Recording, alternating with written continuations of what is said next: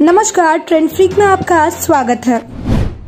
विराट कोहली के test team की कप्तानी छोड़ने के बाद बीसीसीआई को एक नए लीडर की तलाश है। साउथ अफ्रीका दौरा खत्म होने के बाद भारत को नया टेस्ट कप्तान मिल सकता है। भारतीय टीम रविवार को साउथ अफ्रीका में अपना आखिरी मुकाबला खेल रही है। ये दौरा खत्म होने के बाद टीम इंडिया को अपना नया टेस्ट कप्तान मिल सकता है। विराट कोहली ने साउथ अफ्रीका सीरीज़ में मिली हार के बाद टेस्ट की कप्तानी छोड़ दी थी ऐसे में। अब रोहित शर्मा ही टेस्ट के लिए कप्तान बनने के लिए तैयार है। रोहित शर्मा ही अभी टी ट्वेंटी और वनडे फॉर्मेट में कैप्टन है। ऐसे में अब टेस्ट की कप्तानी भी उनके खाते में ही जाती दिख रही है। इनसाइड रिपोर्ट को बीसीसीआई के अधिकारी ने बताया कि बिना किसी शक के रोहित शर्मा की टीम इंडिया के नए टेस्ट कप्तान होंगे। साउथ अफ्रीका की सीरीज़ के लिए रोहित शर्मा को उक्त कप्तान बनाया गया था। ऐसे में अब उनका कप्तान बनना तय था। जल्द ही इसकी आधिकारिक घोषणा भी कर दी जाएगी।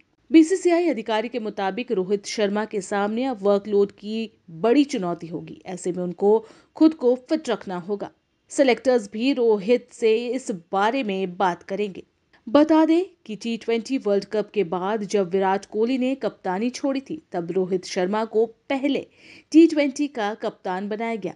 फिर साउथ अफ्रीका दौरे से पहले सेलेक्टर्स ने विराट कोहली से वनडे की कप्तानी वापस ले ली और फिर रोहित शर्मा को ही वनडे का भी कप्तान बना दिया गया। अब जब विराट कोहली खुद ही टेस्ट की कप्तानी छोड़ चुके हैं, तब रोहित शर्मा ही नया टेस्ट कप्तान बनने की राह पर है। वैसे सेलेक्टर्स के सामने अब उप कप्तान चुनने की सबसे बड़ी चुनौती होगी, क्योंकि उप कप्तान ही भविष्य का कप्तान बन सकता है। के राहुल, ऋषभ पंत, जसप्रीत बुमराह जैसे खिलाड़ी इस रेस में सबसे आगे है।